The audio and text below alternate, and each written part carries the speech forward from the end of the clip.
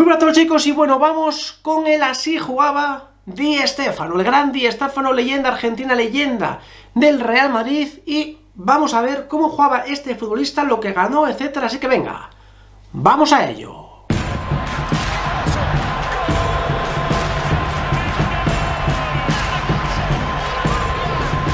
Ya sabéis, si os gusta esta sección de Así jugaba, de futbolistas de antes, apoyadla con un enorme like, que yo lo vea, y comenzamos, comenzamos a analizar a Alfredo Di Stéfano. Es decir, que mucha gente me dice siempre que claro, que era fútbol amateur, que este fútbol no cuenta, que los defensas eran muy malos. A ver, esto va por tiempos. Eran otros tiempos, eran pioneros en el fútbol y seguramente sin estos futbolistas, hoy en día no existiría ni Messi, ni Ronaldo Nazario, ni Cristiano Ronaldo, nadie. Gracias a estos futbolistas hicieron grande este deporte Inventaron regates, pases, todo. Gracias a estos, hoy también disfrutamos del fútbol. Por lo cual se merecen un respeto. Que todo era, bueno, más amateur, sí que es cierto. Que los defensores, quitando algunos, no eran como ahora que están todos muy preparados, vale. Pero tiene muchísimo mérito jugar también en los terrenos de juego que jugaban con esos pelotas que eran de verdad una piedra, así que venga, analizamos la carrera del Di Stéfano porque jugó prácticamente toda su carrera en el Real Madrid, también estuvo en River Plate, es cierto que ganó a más. Grandes cosas, ganó sobre todo cinco Copas de Europa con el Real Madrid, ganó una Copa América con Argentina, con la selección, también jugó con la selección española, dos balones de oro, creo que tiene ocho ligas o por ahí, es decir, una auténtica locura, ganó también con Millonarios, es decir, ganó con todo lo que jugó Di Stéfano, ganó 8 ligas, 5 Copas de Europa, Copa América, el gran balón de oro este que le habían dado, dos balones de oro, leyenda.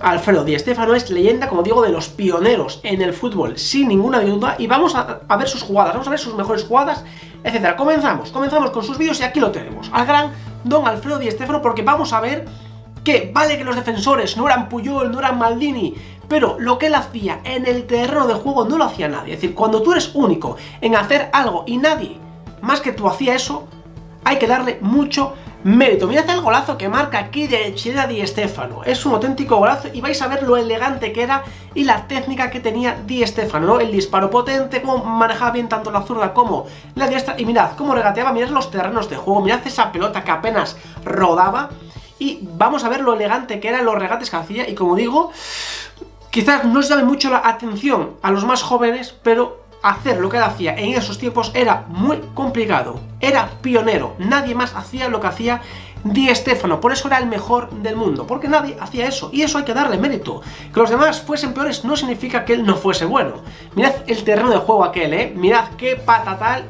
Y ahí estamos, con la técnica que tenía, cómo la llevaba y mirad lo bien que se asociaba siempre con los compañeros. Se asociaba muy bien, tenía una gran visión de juego, mirad aquí, cómo lo espera, cómo se desmarca bien y ahí está. Gran definición, como siempre creo que le dio al palo aquí, sí, al palo. Di Stefano, ahí estamos, otro gol, metió muchísimos goles. Muchísimos goles marcó Di Stefano en Champions, en Liga fue siempre máximo goleador de todo y es que delante de portería lo hacía muy bien, aquí vemos un taconazo de los dos. Gran maniobra, aquí lo vemos, remate de cabeza, se la saca por muy poco el portero. Vamos a seguir viendo aquí, gran control de Di Stefano, como digo, yo lo veo con una clase a este futbolista. En los tiempos que estamos hablando, una clase bestial, una clase fenomenal y como digo, por eso es uno de los grandes futbolistas en toda la historia. Mirad aquí, gran jugada, gran caño y penalti que hace, penalti clarísimo de Di Stefano, mirad aquí el control que hace y aquí otra vez le tiene que hacer una falta bestial. De aquella había muchísimas faltas, muchísimas faltas. Mirad aquí la joda que hace. ¿Cómo? Se la da, hace dos paredes consecutivas con los compañeros. Como él mismo se acaba de guisar la pelota, luego dispararía y se la pararía el portero. Pero él mismo se hizo la jugada aquí. Otra vez asociándose muy bien con los compañeros. Gran recuperación de Di Stefano. Gran caño, se va de dos ahí. Aquí mirad, delante de la portería, él chutaba con todo. Y gol, aquí lo vemos esperando. Y otro gol de Di Stefano. Aquí otro gol, como digo de cara a portería de lo mejor que ha habido nunca, ¿eh? Ahí están sus cifras, sus goles y nadie decía los goles que hacía el Mirad aquí cómo se va del portero y cómo define muy bien y como digo, en el balón, cómo bota, se ve cómo estaba aquel terreno de juego y cómo estaba aquella pelota, ¿eh? Cómo estaba aquella pelota porque era de verdad un desastre. Aquí otra vez mirad cómo se va y mirad el balón. Mirad cómo bota en ese terreno de juego. La verdad es que era muy complicado jugar ahí. Aquí otro golazo, siempre atento, siempre rematando y lo tenía todo. Aquí vemos un gol de cabeza de Di Stefano y remataba de cabeza con la zurda, con la diestra, se asociaba bien, daba asistencias, muy bien. La verdad es que Di Stefano, futbolista muy completo, que lo vemos como encaraba, disparaba y golazo. Golazo de Di Stefano que lo vemos creo que con España, que luego no pudo jugar un mundial cuando España tenía una gran generación por culpa de las guerras, etcétera, una pena. Porque quién sabe, quizás España o Argentina hubiesen ganado un mundial antes. Antes se podía jugar con más de una selección, no es como ahora que solo se puede jugar con una.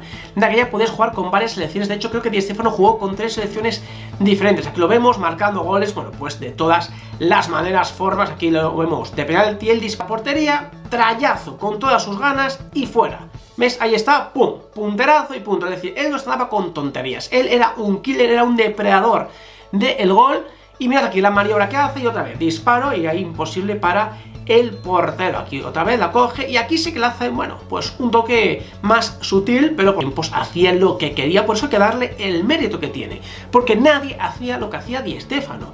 Lo vemos, gran control, gran pase a su compañero y gol. ¿No? Sí, gol, gol. Para que veáis que no es solamente goles, era también asistencias y gran visión del juego. Yo le doy muchísimo mérito a este en el Real Madrid y mucho que el Madrid es el Madrid, es tan grande, tiene tanta fama, ganó tanto, es por gente como Alfredo Di Stéfano, que ganó 8 ligas con el Real Madrid y 5 copas de Europa. Es decir, el Madrid le debe muchísimo a Alfredo Di Stéfano. Mirad aquí el pase de tacón que mete, ¿eh?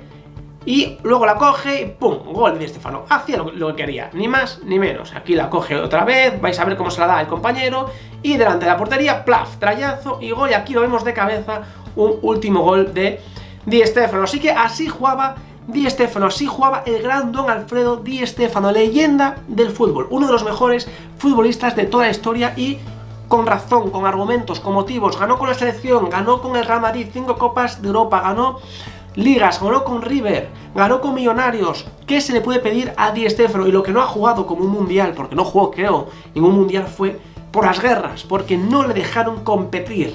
Si no, quizás hubiese sido mucho más grande. Como digo, son otros tiempos, no había tanta táctica, los equipos no estaban tan bien preparados, las defensas quizás no defendían tan bien como ahora, pero era otro fútbol otros tiempos y cuando él era el único en hacer eso, cuando él, era el único en hacer esas cifras de goles, esos goles, esos regates, esos pases, cuando solamente lo hacía él y cuatro más, era por algo. Por eso era el mejor. Porque dentro de aquel fútbol que no era tan profesional como ahora, él era el mejor, por lo cual así jugaba Di Stefano. Como digo, tenía muchas ganas de hacer este vídeo, por suerte hay muchos vídeos de Di Stefano, hay muchísimas imágenes y nos hacemos una idea de cómo jugaba. Por suerte, hay muchos vídeos de él. Luego es sorprendente que otros futbolistas que jugaron más adelante no hay tantos vídeos de ellos. También depende de dónde hayas jugado. En aquellos tiempos el Madrid ya era mucho Madrid, como digo, y en España había medios para grabarle y para tener imágenes de él. Así que lo dicho, así jugaba Di Stefano y ahora quiero que me dejéis en los comentarios cómo habéis visto este vídeo, qué os ha parecido Di Stefano. ¿Creéis que para aquellos tiempos era una auténtica locura los goles que marcaba, la elegancia que tenía, cómo la llevaba, cómo se asociaba, cómo él mismo generaba la jugada con dos o tres paredes, a mí sinceramente me parece un futbolista de época, uno de los mejores de la historia, por títulos individuales y también colectivos. Y ahora quiero que me dejéis en los comentarios todo, que me dejéis peticiones para siguientes secciones de Así Jugaba, Jorbes, Rodador Azario, vendrán muchos otros muy interesantes y lo dicho, espero vuestro apoyo, que os suscribáis, que estamos muy cerca de 150.000 personas, gente. Gracias, gracias de corazón por vuestro apoyo, confianza y nos vemos en el siguiente vídeo. Venga, un saludo.